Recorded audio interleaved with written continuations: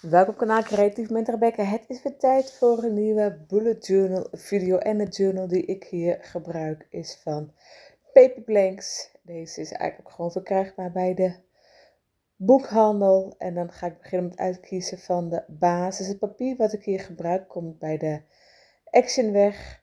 Het heet volgens mij ook een journal set heet het volgens mij. En er zit eigenlijk heel veel dingen in om hele leuke pagina's mee te maken. En ik vond het koffiethema vond ik erg gezellig. Dus ik heb gekozen voor deze koffiekopjes afdrukken, om het zo maar uh, te noemen. En ik ga deze keer een weekly spread maken. En een weekly spread betekent voor mij eigenlijk dat ik een weekoverzicht maak. Wat ik die week heb gedaan. Uh, zoals een soort dagboek als het ware. Dus ik maak de basis en dan schrijf ik per dag op wat ik die dag heb gedaan. Je kunt ook een weekly spread maken met de dingen die je die dag moet doen.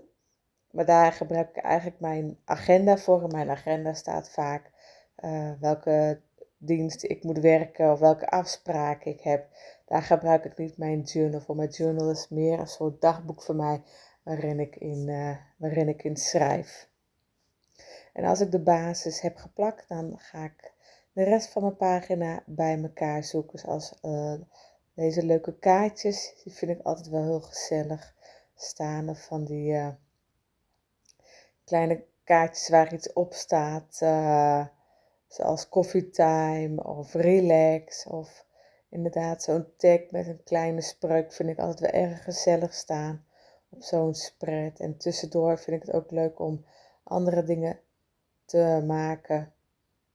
Dat, en uh, zo'n pagina als dit maken is voor mij eigenlijk een beetje ontspanning. Ik vind het heerlijk om creatief aan de slag te gaan, om papiertjes bij elkaar te zoeken en om leuke pagina's uh, te creëren. En meestal doe ik dat één keer in de week. Zo'n weekly spread, of in ieder geval zo'n weekoverzicht. En dan schrijf ik echt gewoon even per dag kort op wat ik dan echt gewoon gedaan heb.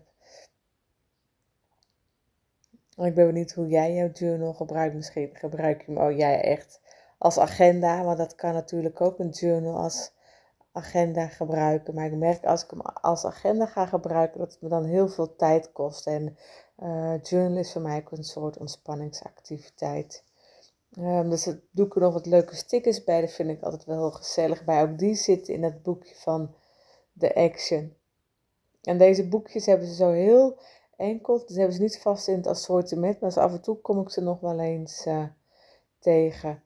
En als ik mijn pagina heb geschreven, pak ik natuurlijk mijn pen erbij en dan ga ik beginnen met het uh, schrijven wat ik die week heb gedaan. Nou, ik had een redelijk volle week, alleen werd ik aan het einde van de week werd ziek.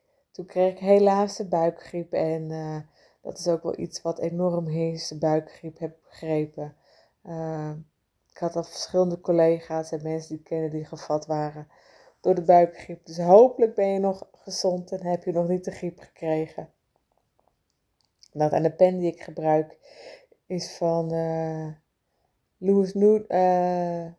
van Newton. Het is 0,5 en het is ook een bruine kleur. Dat. En als ik, heb ik alles opgeschreven van maandag tot en met vrijdag. Vrijdag werd ik natuurlijk ziek. En dan kan ik het laatste gedeelte nog het weekend erbij schrijven. En dan zijn we hiermee aan het einde gekomen van de video. En tot snel bij een nieuwe creatieve video.